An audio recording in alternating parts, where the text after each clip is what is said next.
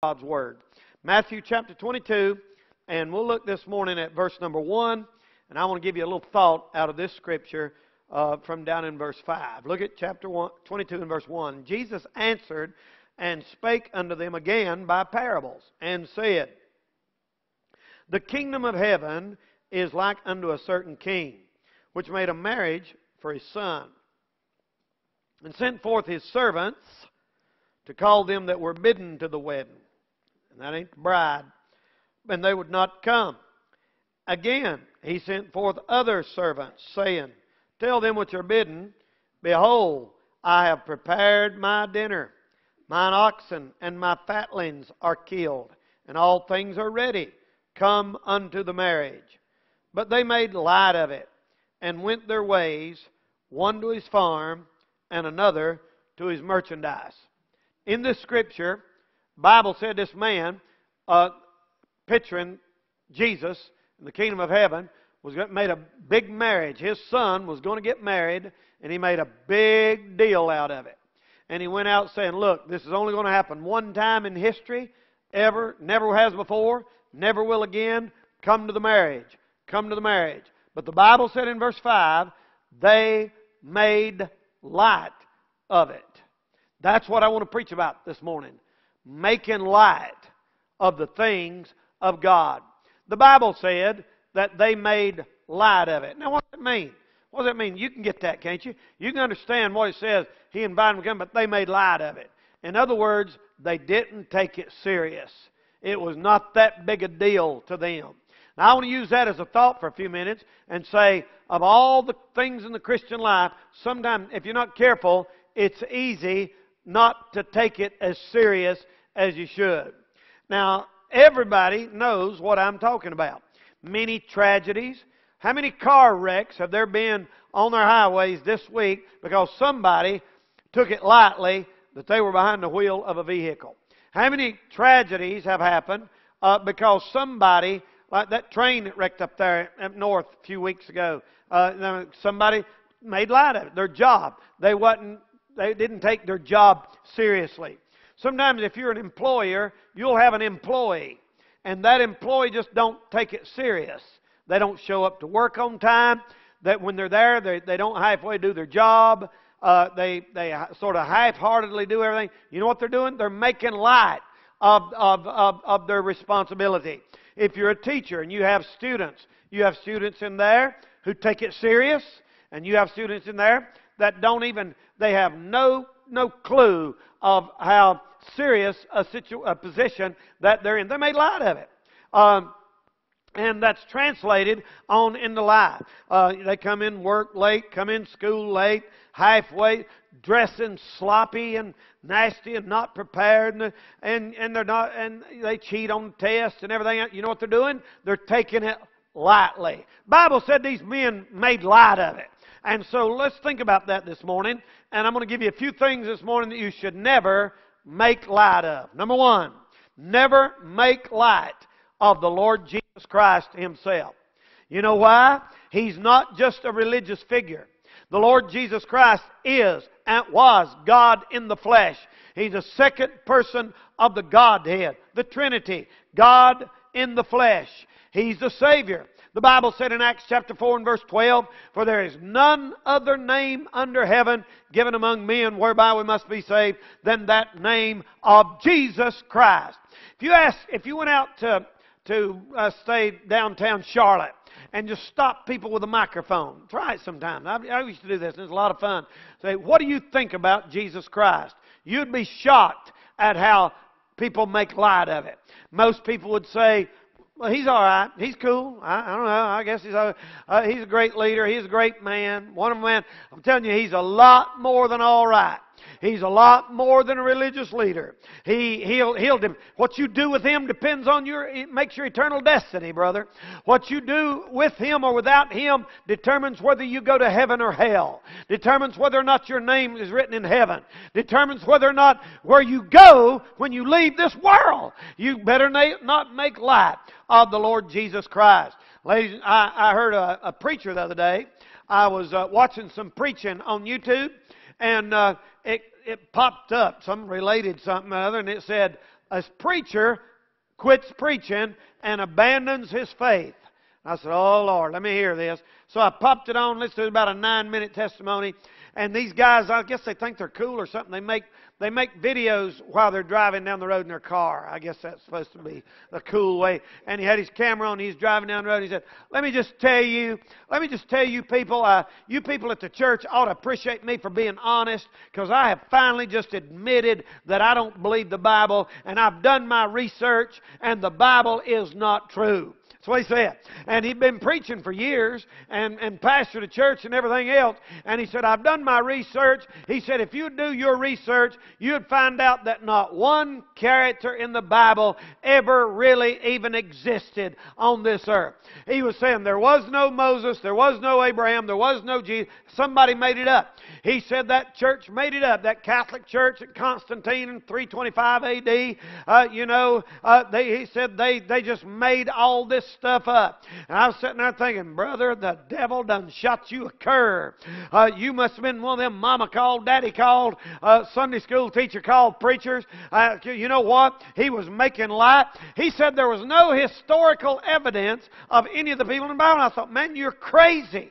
There's tons of historical evidence for the people, for the coins. You know the coins in the Bible? The money, like a shekel and like a, a, a, a pence and all those those uh, those num- those coins in the Bible. Every one of them have been found in abundance uh, by digging and archaeologists and people have dug those things up. It's all been authenticated. There's brimstone all over there where Sodom and Gomorrah is. There's Noah's Ark up yonder on the top of those mountains in uh, Siberia, Russia, wherever it's at, uh, Mount Ararat, and the Lord Jesus Himself. Did you know the Encyclopedia Britannica? Gives 20,000 words to authenticate the life of the historical person of Jesus Christ that lives on this earth. They don't give that much words. Nobody else I don't get. Josephus, any reliable uh, historian, Josephus wrote from between 37 AD and 95 AD. That was only two years after Jesus died, brother. Two, a year and a half, four, three years, something like that. And he tells tons of stuff about the Lord Jesus Christ. I'm going to tell you this morning, Jesus Christ, somebody you better not make light of. You better not make light. Now, if, if it's Confucius, if it's Aristotle, Plato, uh, uh, Socrates, one of those Greek philosophers, they borrowed all their stuff from Solomon. What little bit they knew that was right, they got it in the Old Testament, and then they tried to act like they invented it. I'm telling you, you better not take the Lord Jesus Christ uh, lightly. He's nobody to take lightly. He one day will be on this earth, King of kings and Lord of lords. And everybody and everything will be eventually in submission to Him. You better not take lightly the Lord Jesus Christ. My question would be to you today who is Jesus Christ to you right now? You say, Well, I grew up in, in my church. We talked about Jesus and everything, and I, I was taught if you're a good person, you'll eventually go to heaven. No, no, no, no, no, no. Jesus said, I am the door. He's the door. The way you got in this church this morning, you come in that door. Most of you come in that door back there. That's what Jesus is. He's the door. He's not just something you tag along with your religion. He is the only way. He is the way. He's not helping you find the way, brother. He is the way in. The Lord Jesus Christ. Never make light of it. Number two, let me say secondly this morning, uh, never make light of the Bible. Never, ever, ever make light of the Word of God. The Bible said, Man shall not live by bread alone, but by every word that proceedeth out of the mouth of God. We believe as Christians that this is divinely inspired, infallible, inerrant Word of the living God. This is not just a history book, although it is. This is not just a science book, although it is. It's not just a religious book, although it is. It's a book on, on war. It's a book on family. It's a book on marriage. It's a book on raising children. It's a book on philosophy. It's a book on past. It's a book on prophecy. I'm telling you, you better not make light of your Bible. You know what God did? God fixed it so that the common man, not just the educated elite, the common man can take everything he really needs that's important and keep it in one book. One book made up of 66 books, and you've got everything you need to know about life that's important. I know people who say, Well, I've got a Bible on the shelf and I've got tons of other books. I tell you what you better do. You better put that book right there above. You know what that book right there is? That book right there is center, front and center in Shining Light Baptist Church. Our little theme, our logo is Bible preaching. This whole thing is built upon that book right there. You ever been to some of them so-called churches and they got a pulpit over there on that side and a pulpit over there on that side and ain't got nothing in either one of them? Uh, they'll have a and, and they have a liquor jug right here in the middle uh, where the priest will stand there and, uh, bless the wine. You know what? The center of attention is the liquor there, brother. You know what the center of attention is in a Bible-believing church? The Bible. The Bible is the center of attention. This right here, this right here is what we go by. This what here's what we live live by. This is what here what we'll be judged by. You're going to be judged by this book one day. Not your denominational preference, by this book right here. This is what you'll be judged by. Man shall not live by bread alone, but every word of God. You need to know the Bible better this year than you know last year. You need to know the types of the Bible. You need to understand the difference between Jew and Gentile and the church. You need to understand the difference in law and grace. If you were not here Wednesday night, Lordy mercy, we got it. We are studying the book of Colossians and we talked about what a dispensation is. You need to understand what a dispensation is. There's dispensations in the Bible. Um, I, I read about those great men and, and talked about like John Wycliffe and John Huss, who was burned at the stake, and William Tyndale, who was, humanly speaking, the man responsible for getting the Bible translated in English. Do you know why they call the Dark Ages the Dark Ages? Is because the Catholic Church basically run the world during that time. And they, their, their, their, their mindset was keep the public in darkness and don't let them have the Bible and we can keep control over them. They said if them people ever starts getting that Bible for themselves, they'll find out what a bunch of crooks we are, and, and we'll lose our income. That's basically it in a nutshell. And if you want to study the Dark Ages, that's just it in a nutshell. And buddy, that some of them guys started rebelling, and some of them guys like oh. Uh, uh, like Wycliffe and some of them guys, they started rebellion. And, and, and, and Martin Luther in 1500s, he come out, and he was a monk, and he saw how those people were being treated. And he saw that they call them the peasants. That's what they call them, peasants. And old Martin Luther saw how they were being treated, and he said, this isn't right. And they told him, they said, you just shut up, keep your mouth shut. Whatever the Pope says, that's what we'll do. He said, what about, he said, what about where the Pope says one thing and the Scriptures say another thing? And they'll say, we do what the Pope said. That was their thinking. That was thinking. If you don't believe it, you don't know much about church history. And brother, the Pope, they said, was uh, basically in control uh, religiously and uh, um, uh, in every way over the lives of everybody. Had them people scared to death that if they didn't give so much money, those uh, indulgences. They, they would sell indulgences. And in the Catholic Church, you give so much money or your people don't get out of purgatory. Your uncle that died last year or your grandma that died last year. And old Martin Luther got in there, brother, and he read the just shall live by faith. And he lived that Christ justifies us in the Word of God. And he said, I want people to know this. They should shut up. And he said, I want people to know this. They should shut up. And he wrote Luther's translation in German. And the people started getting a hold of the Word of God. That's what we call the Protestant Reformation. Uh, when the church come out of there. Now, there were Christians all the way through that time that never was in it. That's why we as Baptists don't claim to be Protestant, because we were never in the Catholic Church. But Lutherans come out of the Catholic Church, Martin Luther. Uh, Presbyterians come out of the Catholic Church, that's John Calvin. And uh, Methodists come out of the uh, Catholic Church, that's John Wesley.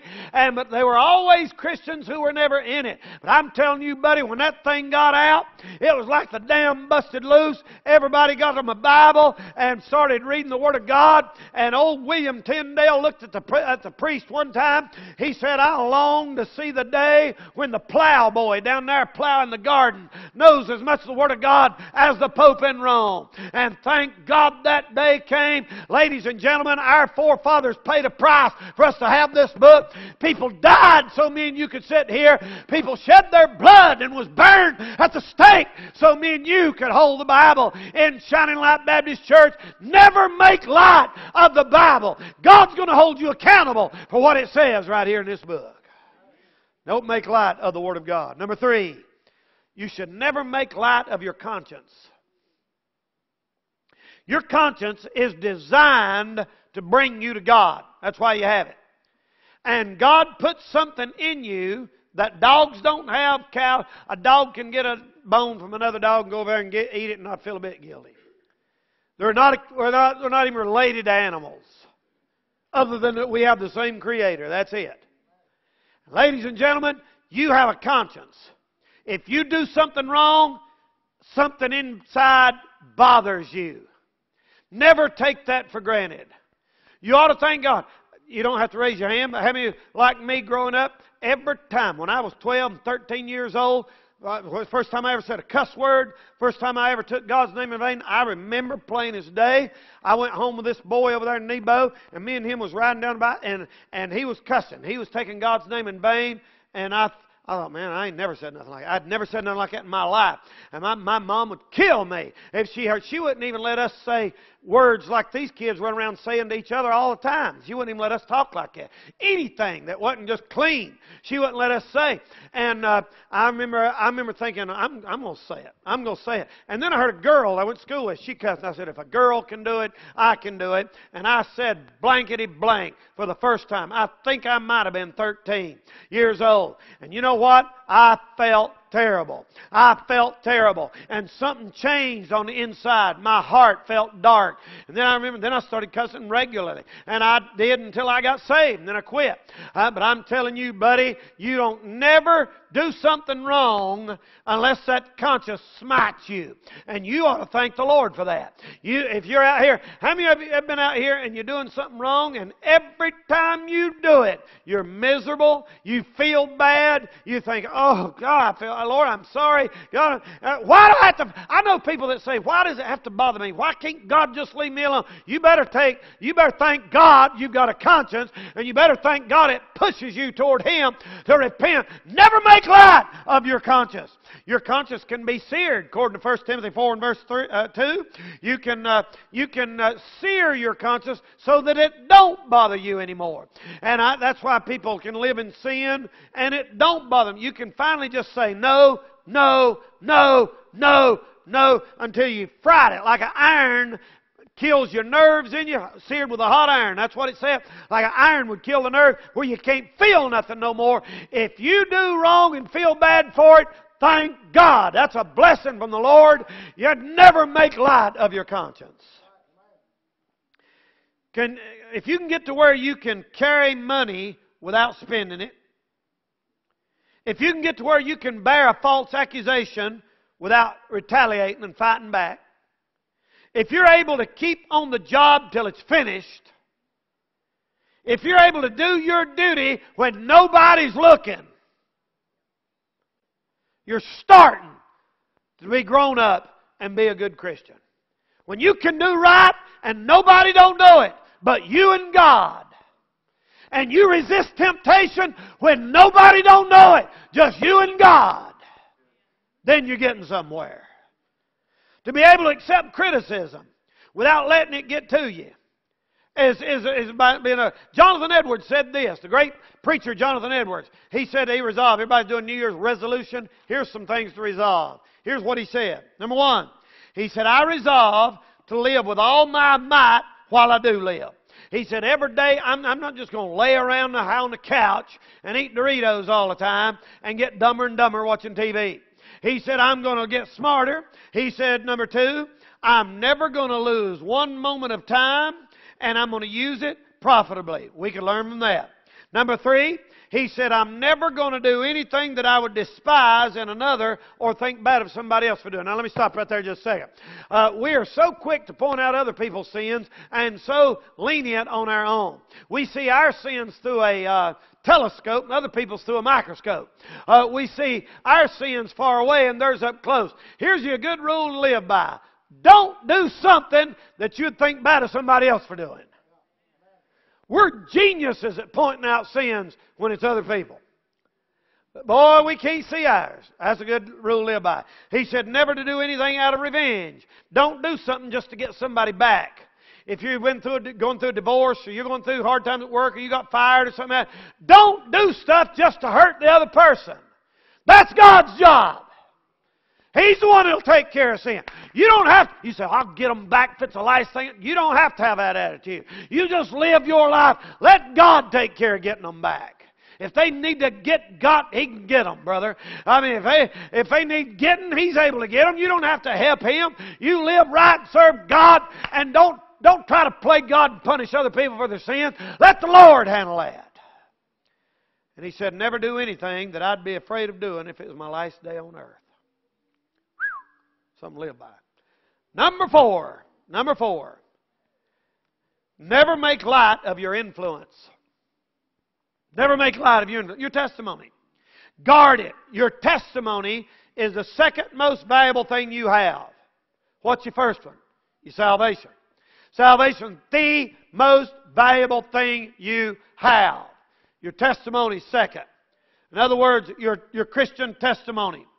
It is uh, uh, it's not worth losing your testimony over a few dollars at work and showing yourself and acting out and getting in the flesh and cussing somebody out or because you didn't get a promotion you wanted. It is not worth it. Um, I, you know, I played basketball all my life, ever since I was 12 years old. Except for, for, a, for a time there, I didn't play for several few years. And uh, it, it was so hard for me when I got into this Christian basketball to retrain my mind to think like that. When we started school up there in Marion, uh, you know, the only ball games I'd ever been were public school. And buddy, we went in there. We was the good guys. They was the bad guys. Kill them, win, beat them to death. Had no mercy. Boo. We booed. And uh, I thought that's what you're supposed to do in a ball game. We got in that Christian school, and I thought the same way. Get them. I told them boys, I said, win fair if you can.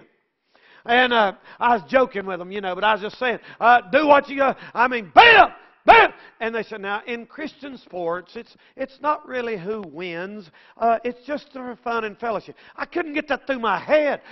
Something in me was saying, no, no, it's like, it's, it was like trying to tell me the sun's cold. Uh, I, I could not get that. What do you mean it don't matter who, uh, what are you talking about? I, I still, I still think there's something wrong with somebody that thinks like that. I don't care if it's checkers. I don't care if it's you. I mean, the whole point of playing a game is for him to beat you, you to beat him. And it took me forever. I almost got kicked out of the gym up there, man. I was a pastor. I was over there, and this guy come over there, and I said, "Hey, boo! T-shirt, shirt's hanging out. Socks are down, shoes untied. Ooh, you know, just cutting up, having a big time. And the referee said, You're going to have to hush this right there. I was the pastor of the church. And I said, Lordy mercy, what are we supposed to do? Wonderful boys. When they do something, we're just supposed to sit here. When we do something, say, Yay. I said, Something ain't right with this. And it's the same way over there playing ball. But you know what? You know what? After, after a couple years of church ball over there, I said, Look, look, we, it's, you still want to win, but you don't want to win at the expense of your testimony. Nothing is as important as not acting like a Christian. Whether you win or lose is not the most important thing now. It's how you represent the Lord Jesus Christ and be a help to other people through Him. Amen? You have to retrain. Uh, people go to work and they say, I'm going to advance. I'm going to get that promotion. I'm going to be the head of this company. I'll stomp on everybody. You better remember that while you're at work, the most important thing is not that promotion and how much money you're going to make, is your testimony for the Lord Jesus Christ. Your testimony is more important than a promotion at work.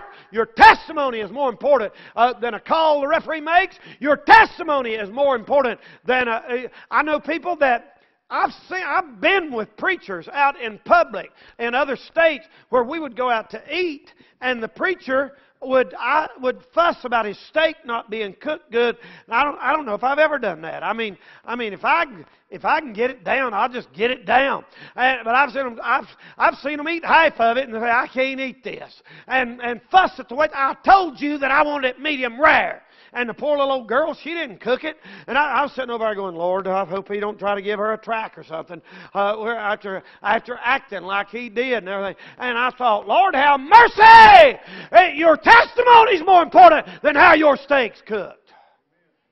You can be nice to somebody and say, uh, ma'am, would you ask them if they can cook this a little bit more, or something like that? If you got to, if you're going to die, it's going to kill you. But we, sometimes we forget our testimony. People's watching us.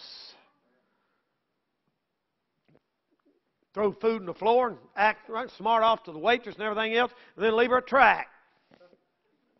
I bet she really appreciates that. Amen. Somebody said, when in doubt, tell the truth. Amen. Make yourself get in the habit of telling the truth. Don't be a stumbling block to somebody else. Number five, I'll say this, I'm going to hurry. Never make light of your responsibility. Never make light of your responsibility. Your responsibility. You have some responsibility. Don't make light of it. To make the right decisions. It's not what you feel or how you, you think as a church member. You must be responsible. There's so, you know what? I know, I know a lot of people in church that could be a good preacher. I know a lot of people in church that are talented. I know people all over this country that have talent going to waste, but they, God can't use them because they're not responsible. Amen? He's not looking for your talent, brother. He's looking for somebody that'll be faithful and responsible and not take light being their responsibility. I have a responsibility to be in this pulpit. You wouldn't believe the letters or the, the emails or whatever they are and texts that I got this week because last Sunday I had that cold and I was preaching and I, uh, Florida, California, everywhere. Sorry you're sick, Brother Danny. Sorry you're sick. Praying for you. Hope you're doing better. Sure didn't hurt your preaching none. Enjoyed that. I'm just over and over and New York, places like that. And I thought, you know what? There's people out there depending on me. I have a responsibility to be right here behind this pulpit preaching the Word of God. That's why I'm here this morning. That's why I'm here this morning. We're not here to say, ah, we come to church in the snow. No, no. I have a responsibility. This is on my record. I, I don't take light my responsibility. And I'm going to tell you something. I joke and cut up a lot. I'm all for a good time. I love to cut up and have fun. But, buddy, when it comes to preaching and the Word of God and church and the Bible, I ain't going to take this thing lightly. I'm going to take it serious.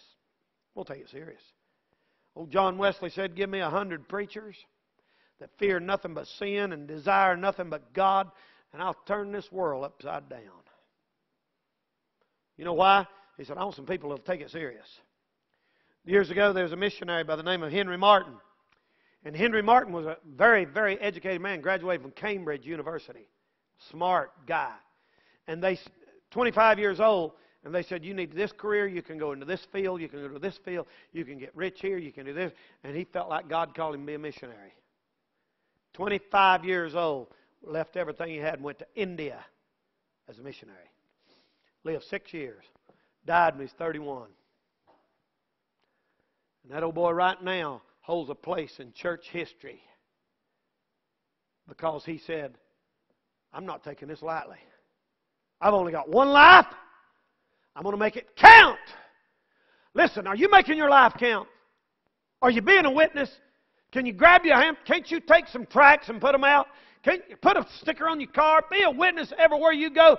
Don't take it lightly. Don't take it lightly. You've heard this story before, and I'm going to tell you a couple when I'm done. How many times have you heard stories like this? Years ago, there's this young man, this young lady, Christian lady, fell in love and they were head over heels in love, ready to get married. And this is a long time ago, back 200 years ago, there wasn't missionaries couldn't come home twice every two years like they do now. And they, they went, they was gone, buddy, probably for the rest of their life. And finally, he asked her to marry him, and she said yes. And they went on there, went on there for a while. And he got called to be a missionary, and he said, "I'm going to some far country off somewhere, India or somewhere. Africa or some He said, I'm going there to spend my life. And she said, In that case, I can't marry you. And broke that guy's heart. Now, he had a choice to make stay here marry her, or do what God's called me to do. And he made he didn't make light of it. He said, I love you, but I've got to do what God calls me to do. And he went ahead and, and made preparation with me, and they broke up. And he said, I love you. If you ever change your mind, please let me know. She went on back home. He started making preparations to go to the mission field. And buddy, when he did, he got that on that mission, uh, getting ready to go to the mission field. And one day, she got to thinking, and she was praying and reading the Bible and stuff, and she had a change of heart. And she said, "You know what? I could have married God's man." I could have married God's man and stood by him on the mission field and supported him and been a good preacher's wife and, and helped him. But I was selfish and wanting to stay here with my family and everything. And I could have married God's man. And she, she sent him a message, you know, I, I want to, I, I, I accept the invitation. I want to marry you. And she said, she wrote him a nice letter.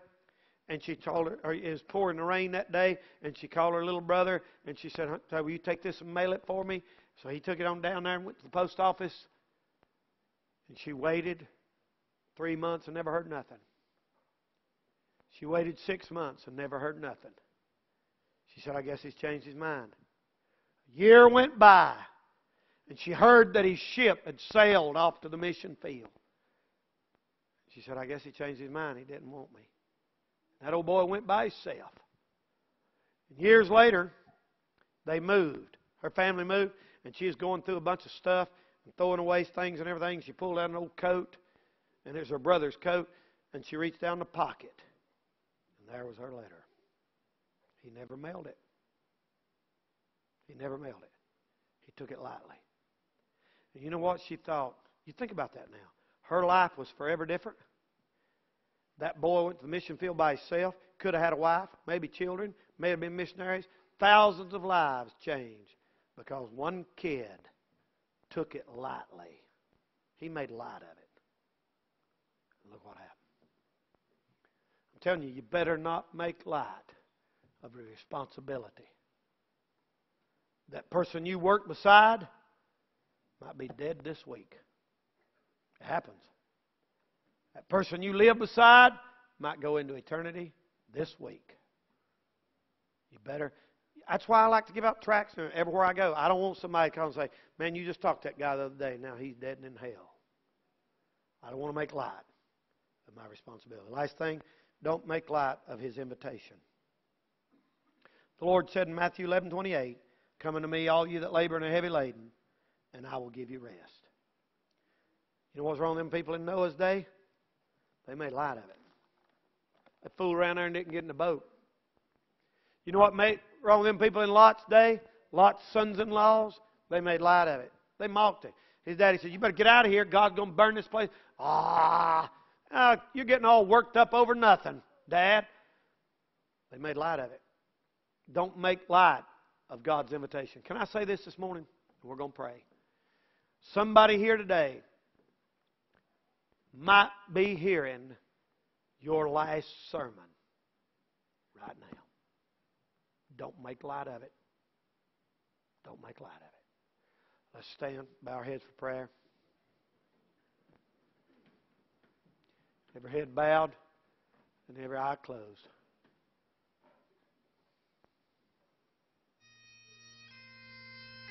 We're going to wait just a few seconds. Maybe you're here this morning and God has spoke to your heart. Nobody here is by accident. Nobody just randomly decided to walk in here this morning. God brought you here to deal with your heart. Would you be a man enough, a woman enough, a young person enough to just slide right out of your seat, make your way down here, do business with the Lord? Would you do that, Mama, Daddy? Right now would be a good time to do it. We're not going to sing. This is our invitation. Right now. Come on. Amen. Amen. Come on. Come on, young lady. Come on. Be a good time. Give your life completely to Jesus Christ right now. You better not take this lightly. Oh, I just went to church and got it over with this morning. We had a crowd, you know, snowy day. You better not take it lightly. You better not take it lightly.